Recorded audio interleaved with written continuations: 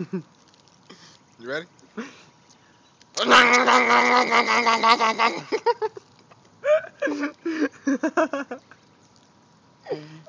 Fucking Cookie Monster and that shit.